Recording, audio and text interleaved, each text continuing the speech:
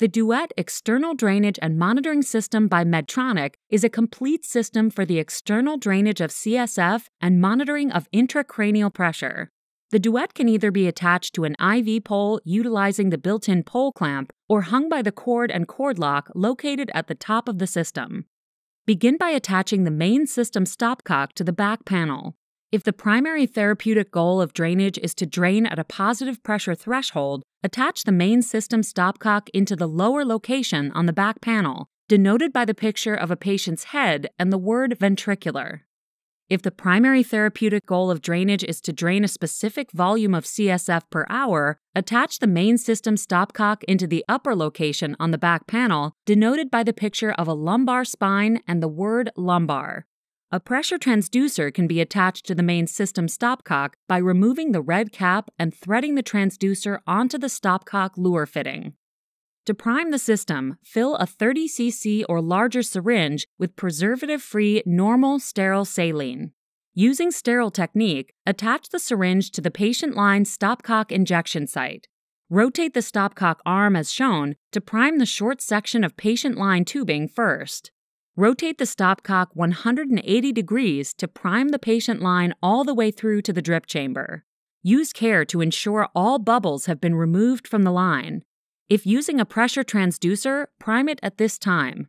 Using sterile technique, loosen the end cap on the transducer so fluid can flow through it. Rotate the main system stopcock as shown so fluid flows from the patient line through the transducer, flushing all air bubbles from the transducer. Once complete, retighten the end cap on the transducer. Be sure the patient line stopcock is off in the direction of the patient's catheter so fluid does not drain out of the patient line. Once priming is complete, be sure to empty the drip chamber into the drainage collection bag and rotate the stopcock below the drip chamber prior to opening the system to drain. Using sterile technique, attach the patient's catheter to the end of the patient line.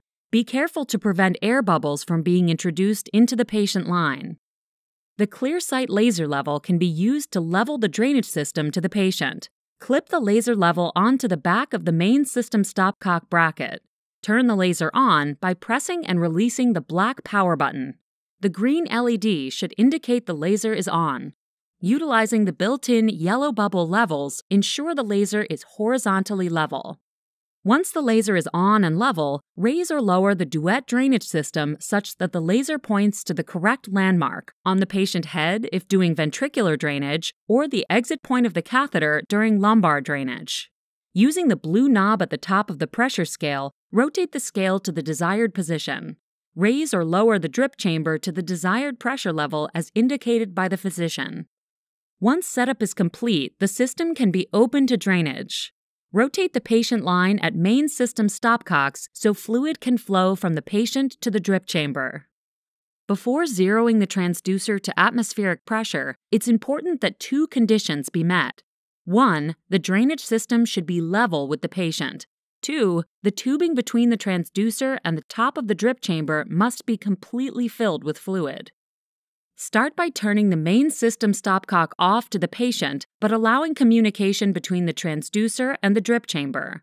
Lower the drip chamber until the pressure indicator window is centered at zero on the pressure scale. Press the zero button on the bedside monitor. The pressure transducer is now zeroed to atmospheric pressure. Return the drip chamber to the ordered setting. Rotate the main system stopcock off to the transducer and onto the patient, allowing fluid to flow from the patient to the drip chamber.